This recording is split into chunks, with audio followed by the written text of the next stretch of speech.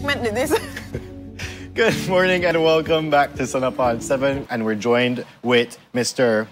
Major Gilbert Swazo, who's the Port Commissioner. And we're discussing the Day of the Seafarers, which was celebrated on June 25th, and their upcoming award ceremony and maritime expo. So, good morning and welcome back to our couch, Mr. Swazo. How are you? Well, uh, President, good morning. And again, it's always a pleasure to be here on SunUp, you know, taking this opportunity certainly to pass on some good information about the maritime industry to our Belizeans at home and abroad and international stakeholders in maritime. Great. So, Mr. Swazo, could you tell us about the Day of Seafarers? What is that? Okay, well, I think what is important to know is who, in fact, is a seafarer. Yeah. yeah. I think that's uh, a very good place to start.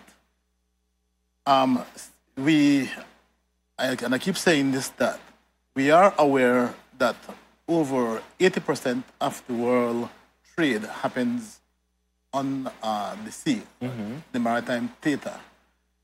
And for that to happen, there are a group of people who sacrifice, um, certainly their families and, and themselves, to brave the sea to be able to bring goods, in particular to the different countries within the world.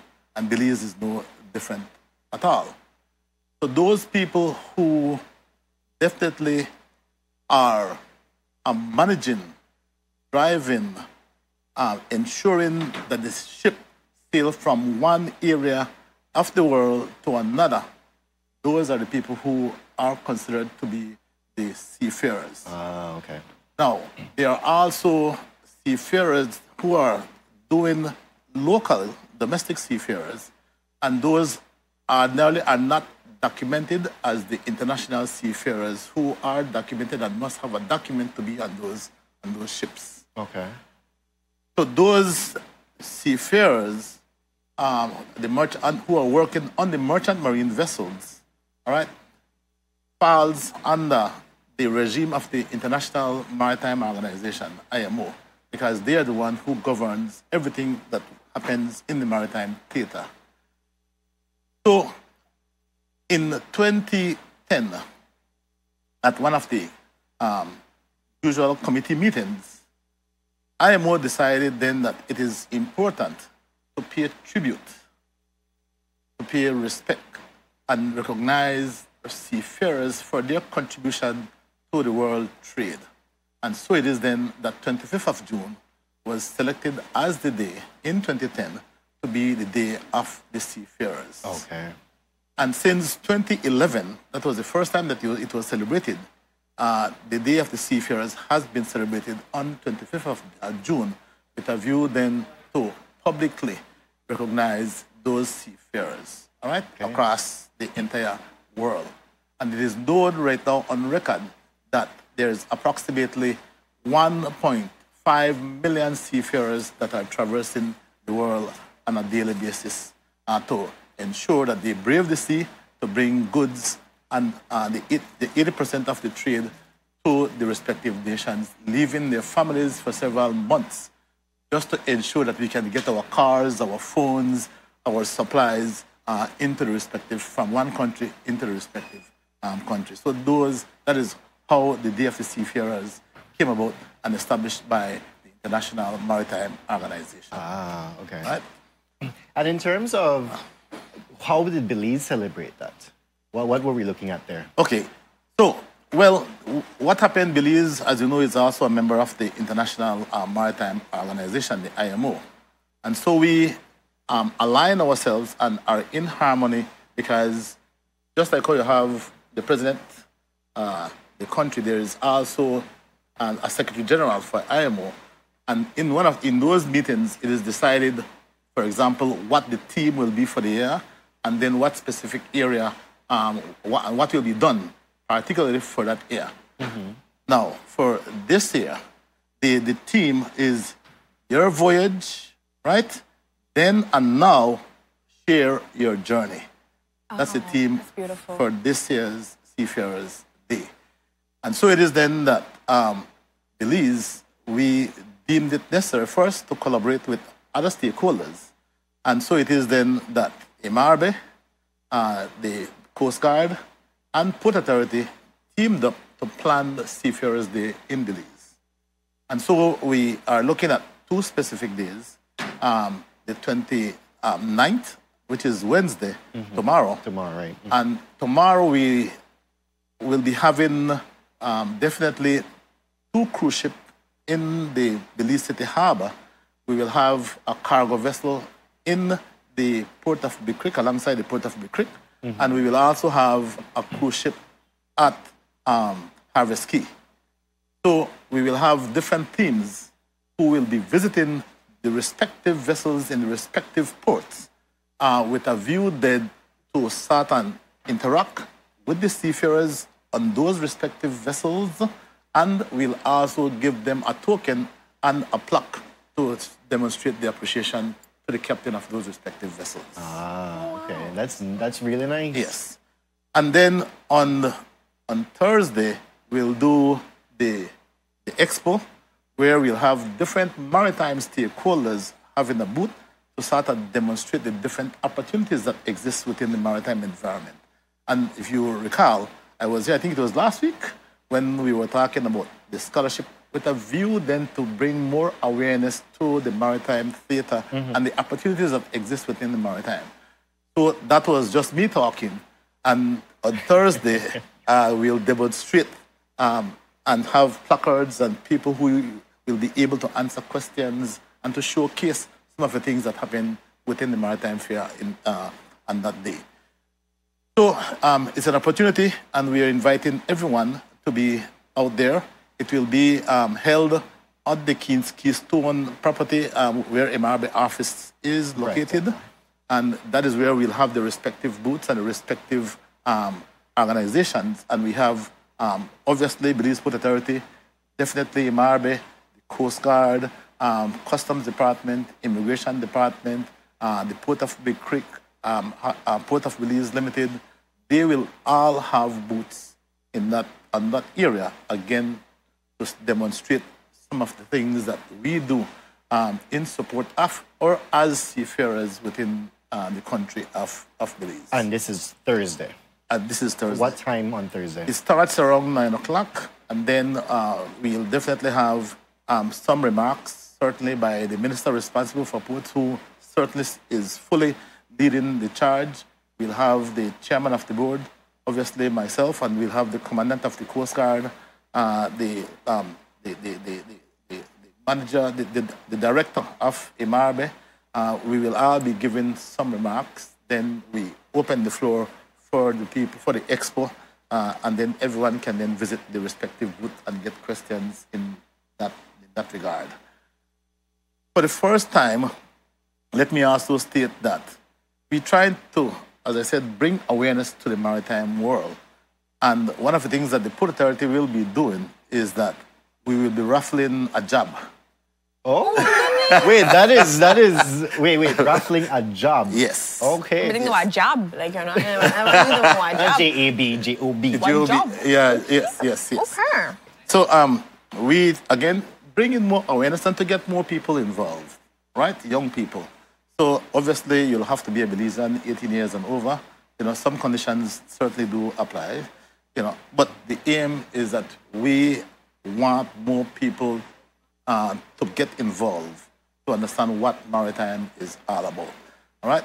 I mean, too often we don't even, as I said, it's like an invisible uh, kind of an industry. Right. Yeah. But let me state that. Let's take, for example, that we have ships coming from Texas, Galveston. Uh, perhaps, uh, usually seafarers from a foreign country. When they arrive in Belize, our seafarers takes over because if one of the first things that has to happen is that that vessel will have to be boarded by a health official, right? And in the first instance, in fact, even before the health officials board, um, they will also have the, the pilot, a marine pilot. The marine pilot is experienced and qualified to certainly con that vessel. We use the term con, or to man the vessel and then guide it from the pilot station, navigate it into the harbor and then dock the vessel alongside the pier or get her anchored. Ah, okay. So Right. they fully take charge at that point, like you said. Yes, they take charge of that vessel. So it is out there. So obviously, there's have to be a pilot boat that takes them from shore to the pilot station to get alongside that vessel, board the vessel, and then take it over from the captain of the ship and the crew, and then guides the vessel in, and then the vessel get alongside the pier. Oh, I did not know all of that occurs. Right. Yes. Now, before anybody else board, then the health official, all right, will ensure that everything in terms of health is um, uh, organized so that you don't spread any disease to anyone else. Right. Then you have the, uh, the other parts, other members of the boarding party, which involves customs, immigration, obviously customs to ensure that goods um, uh, that goods does not- and are declared. Right, uh-huh. Then you have the, um, the immigration officer who will then check on the crew and if it is passengers to also ascertain the passenger manifest. okay. Right? Uh, and then port authority, we do what is called the port state control inspection to ensure that that vessel is safe when it arrives and that it is also safe when it is leaving. Okay. Right? So you check the hull, the machinery, the documentation, and all those things to ensure that everybody is operating within the confines of the law. Right? So you have to check, as I say, the fire safety equipment, mm-hmm. the navigation equipment, and those kinds of things.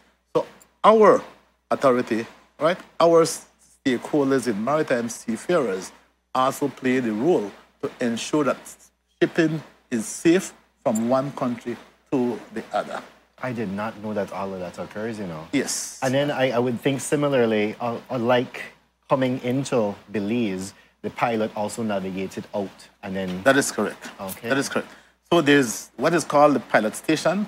The pilot station um, got, get an embarks the vessel at the pilot station, take it in to the harbor, hand over back to the captain, and then they start doing their thing in terms of disembarking passengers or unloading and loading goods. Remember, we import Right. and we also export. Right. Right.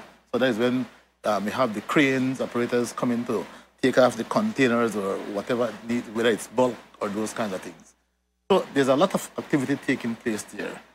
And then, as you had rightly mentioned, once um, the, if, if in the case of a cargo vessel, they have done their tour within the, within the time allocated, they return onto the ship, and then the pilot boards the vessel again, take it out, and then the pilot disembarks at the pilot station, and the vessel goes to its next destination.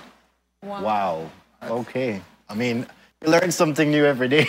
No, but when Major Swazo comes, all the time we learn something that we did not know, especially just like learning about the maritime um, market. I think, remember, we had that previous conversation how Yes. people aren't venturing enough, so there's actually um, a lack in um, human resources there. And Yes. so great opportunities are there for people that are looking for jobs right now that are venturing. There's even correct. scholarship opportunities where you can be able to get your degree paid for you. Yes. So you can be able to Yes, venture, and then you know you definitely have a job thereafter. So And will it win a amazing job stuff. too? Yes. I didn't win a job, which is like A1. That's the first and time I'm I've heard just that. thinking, Major, like, wow, I'm hoping that, you know, parents, teachers, students are listening to this conversation. Mm-hmm. And I know right now it's a funny time. You know, people are graduating, they're trying to figure out where they want to go, and they, they want to be able to get a job. A lot of, I mean, nobody doesn't want to get a job, be able to provide for themselves and their families Mm-hmm. or whatever. Knowing that there is a lack in human personnel, there is opportunities to get work, quality work too as well, and to be able to have your education paid for you. I mean, why not go to this expo, learn as much as you can, see where you can fit in? And it's not just like they're saying one set thing that you have to do. There are multiple different uh, Exactly, opportunities that you can go. You can go into management, all these stuff. So Yes. even if you don't want to get your hands quote unquote dirty or have to the Yes. haul and pull or whatever it is, that doesn't have to be for you, but that could be for somebody else, and you can figure out where you want to go. Yes. Major Swazo, could you tell us? I, I'm just still blown by the fact that there's a raffling of a job. Could you tell us maybe some of the qualifications that are needed um, in order to be applicable for that Eligible? job? Or eligible, sorry, for that job? And what job are we looking at?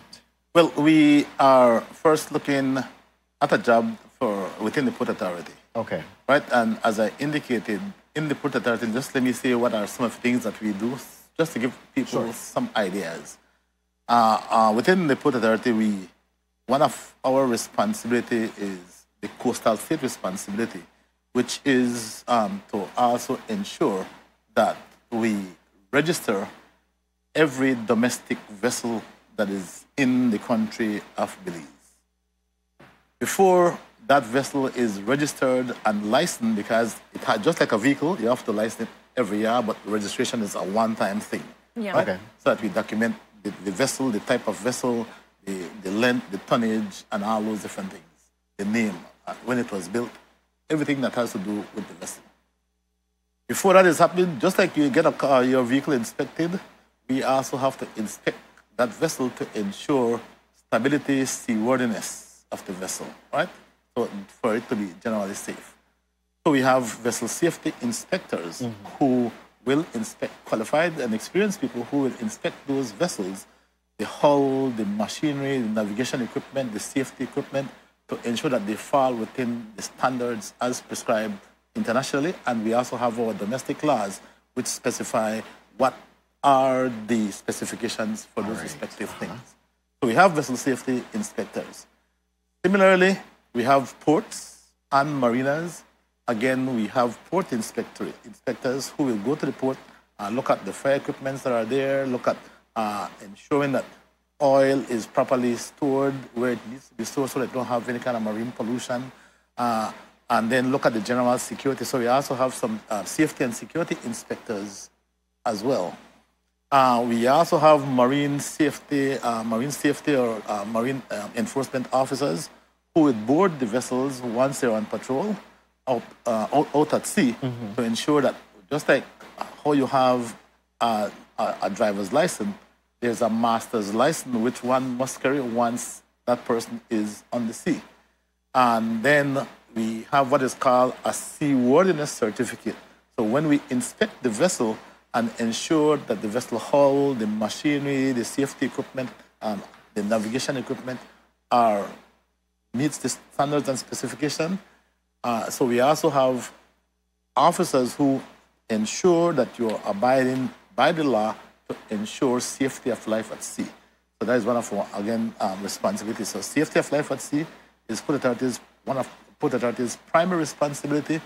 Um, navigation safety is one of our another primary responsibility, and also ensuring the protection of the marine environment are amongst the key responsibilities that we have. So we have officers at all that level. And as I said, um, there is what is considered to be flag state. A flag state is like IMMARBE is Belize's flag state. They registered the international ships uh, that are that are Belizean flagged. But when those vessels come into national waters, then that is what is called port state inspection. So we have port state, um, port state control um, inspectors who will then go on board those international merchant marine vessels that arrives, again with a view to ensure that, just like the domestic vessels, that these international vessels are safe, the, uh, the navigation equipment are within the specifications, uh, that the hull, the machinery are again within the safety parameters, right? So, and then, so we have those port state control officers, have pilots, again, Guiding the gui- guiding the ship, and and in, so we also have obviously accounts because people have to get paid, right? Have to. yeah, right. They carry- You right here too as well. yes, so right. You know, so there are um, almost every job that are tra- that is traditional or that, that are traditional is also within the maritime. You're right. Yeah. Right? Now, perhaps one of the fear is that the fear of um, not being able to swim or falling overboard. If you fall overboard, every person on that ship, right, who, who is a crew and the captain, will go to school and are trained to do what is called the recovery of a man overboard, right? So there are maneuvers that the vessel will do to ensure that they navigate to get that person who would ordinarily fall overboard. so they fall, I got you. Yes, they got you. We got you. Oh, after. so we go swimming in them and we'll make it happen, whatever it is we need to do. But let me also state then that these ships are in, they're from small vessels to vessels that are three, four, six football field length, Wow. right? Wow. So, I mean, that enough stability. I don't think you can drop a, a word on You, this. you, you understand? So, People Yeah. will find a way though. so, so, so what is the fare, right? And um, imagine a cruise ship. That's like a city that you're floating on, yeah. right? So, in my humble view, we need to have a paradigm shift in the way of our, our attitude and thinking Yeah. that we are only safe on land because risk is everywhere, Everywhere, definitely. exactly. right? So it is for us now to look at it and say, you know what? Where is the um, area where I can find the best opportunity to move forward? And if, when I was here the last time, I said that um, there are several people with masters, bachelors, different degrees, degrees within the traditional, um, with traditional education, who don't really, uh, who have not had a job for a long time. Yeah. And there are several opportunities out here. Definitely. So if we are to shift, right, and look at it, I believe that we can reduce the, um, the lack of jobs in Belize definitely. Most definitely. through the maritime. It And seems, I'm yeah. really encouraging again. I cannot say it enough to have um, people that are, have some kind of curiosity but are just wanting to understand a little bit more about what happens on the maritime and just these job opportunities, these scholarship opportunities. Come out to the expo. There isn't enough people for talk to. You could go around each every single stall and learn more. There's a they're raffling a job. There's so much ways that we can be able to inform ourselves how we can make valuable decisions on our career choices, on our scholarship choices, on where we want to see ourselves in the next five years. And sometimes we don't even think about the other possibilities of the different, you know, areas that we can go into. So let's not let's squash the fears Yes. and talk about what we're fearful of and have those answers right there addressed for you on the spot, guys. Don't give up opportunities. Honestly, if it's knocking at your door, open the door. And so, Major Swazo, thank you so much for Yes, being here, for opening the door, for having, again, always a great time to have you here on the show, giving us all this new insight that we definitely, I'm sure, like, people really value when you're on our coach because we always learn something. There's never, ever a day that we don't learn something when you're here that we're like, oh, that's how it operates? Yes. Okay. And that's Thank you. because he, he gave us all this knowledge, and I'm just thinking back of a story when I was in Barbados, Uh-huh. and we saw a Belizean flagged um, Vessel. sailboat, Uh, okay. and we went to it and we just touched it and said home. so, so I, when you told me about all the all the, the technicalities behind getting these ships into a different country, Yes. I'm like, oh, oh wow, okay. There's a lot of work There that we go. goes behind it, and the thing is, people can be a part of it. We have such a high in, uh, uh, unemployment rate, Mm-hmm. and so we really need to work on how we can be able to fit people in jobs, and there are jobs available. There is a lot. I, I forgot the number that you told me last time. The millions of amount of lack in people. It was 1.5 that was lacking. exactly. So people And the important thing is that more larger vessels are being built as well, phasing out the smaller vessels. So that makes it even give you more opportunities. We're gonna go on the football field vessel, guys. Let's, if nothing else, let's go on the football field vessel. But again, thank, Thank you, you, so much, Razor. So, so people, check out the Port of Authority um, Facebook page for the flyer in case you miss any details. Make time to be out there. It's from 9 to 2 p.m. If you can't go for the whole thing, go at least for the half of the day. Go for the beginning. Find time to make these doors open for you guys. If you want it, want it, you have to go after it. And no one knock on your door. You have to go out to get it. Well, this, So- is what, well, this is what we are doing. We are coming to knock on everybody doors, uh, giving the opportunity, you know, exposing and enhancing uh, people idea Yeah. with a view then to say, you know what, this is available to us. I mean, even before um, uh, I became the ports commissioner, I am a marine surveyor, right? So you can even work on your own outside of the regular government or traditional um, organization. Right, uh-huh. So there are employment opportunities for people to do, right? So as a marine surveyor, it's almost like a port state control inspector who goes and inspect vessels. If a bank perhaps need um, someone to check the condition and the value of a vessel, marine surveyors does those kinds of things, right? So there's definitely. I mean, look there, what next- what next opportunity? I tell you, if you if you know what I tell you, if you know what, you could be a surveyor. There's so many things you can do. So go and answer the call, find out information, ask as many questions. Major Swaz don't care. He want answer that for you. Trust me, he wants to. And there are many other qualified people to answer the questions. go out there, guys, and learn and get those opportunities. Tell a friend, tell a friend's friends. I want to go together as a group and learn together. Let's quash the, the qualms of our dash overboard, I can't swim or whatever it is. Face the fear. Face the fear Yes, and face head the fear. on. Let's jump Taste into the the fear and become a seafarer. Yes, Okay, yes, okay, yes, yes. Exactly. I That's very good. I give on the next team for next year. Yes. And with that, we go to our next commercial break. We'll-